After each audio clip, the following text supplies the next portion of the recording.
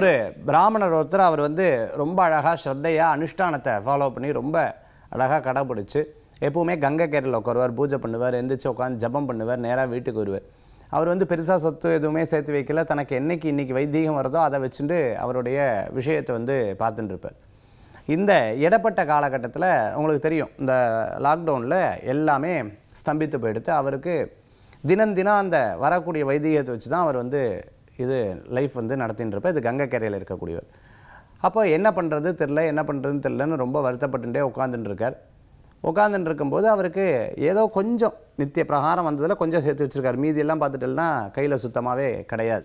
எப்பவும் போய் கங்கையில் போய் ஸ்நானம் பண்ணுவேன். ஸ்நானம் பண்ணிட்டு வந்து அங்கே உட்காந்துட்டுருப்பார் அப்போது விஸ்வநாதரை வேண்டின்ட்டு அவர் கேட்குறாரு என்னப்பா இவ்வளோ சோதனை பண்ணுற ஒன்றுமே கிடையாதே. நான் என்ன பண்ணுவேன்? என்ன பண்ணுவேன்? என்ன பண்ணுவேன்? அப்படின்னு கேட்கும்போது ரொம்ப மன வருத்தம் படுறார். மன வருத்தம் பட்டவுடனே அங்கே இருக்கக்கூடிய ஒரு ஃபேமிலி அவங்க அந்த இடத்துக்கு வந்து அவங்க கேட்குறாங்க இந்த மாதிரி எனக்கு வந்து இது பண்ணணும் ஸ்ராத்தம் பண்ணணும் நீங்கள் பண்ணி வைக்கிறலா அப்படின்னு கேட்குறாங்க சரின்னு சொல்லிட்டு அவளும் ஸ்ராத்தங்கள்லாம் எடுத்து அழகாக பண்ணி வச்சார். பண்ணி வச்சோன்னா தட்சணை எடுத்து கொடுக்குறா. அவர்கிட்ட அவர் கேட்குறாரு சாமி இத்தனை நாள் நீங்கள் என்ன பண்ணிட்டு இருந்தது? சாப்பாடுக்கெல்லாம் ரொம்ப கஷ்டப்படுறல அப்படின்னு சொன்னோன்னே இல்லை இல்லை நித்திய பிரகாரம் எனக்கு வந்துட்டு நல்லா சௌக்கியமாக விஸ்வநாதர் எப்போவுமே எனக்கு கொடுத்துருவார்.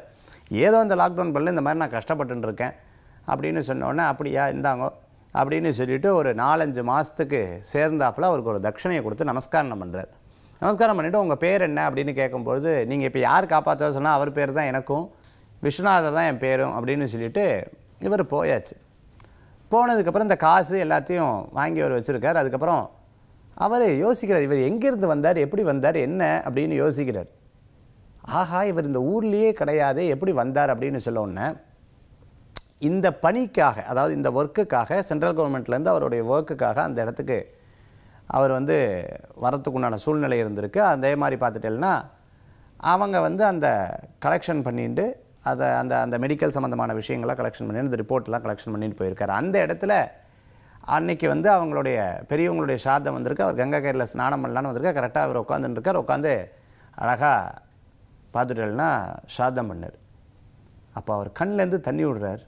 யோசித்து பார்த்தார். சே விஸ்வநாதர்கிட்ட நம்ம ஒரே க்ஷணம் தான் சொன்னோம். பகவானே நான் என்ன பண்ணுவேன்? இன்னைக்கு இப்படி கஷ்டப்பட கொடுக்குறே சோதனை கொடுக்குறேன்னு பத்தே நிமிஷத்தில் எனக்கு அந்த விஷயத்தையே அவர் நிவர்த்தி பண்ணி கொடுத்துட்டார். இந்த மாதிரி தான். நம்ம மனதார வேண்டும் பொழுது அந்த அற்புதமான யோகி என்ன பண்ணுவார்? உடனே அனுகிரகம் பண்ணுவார்.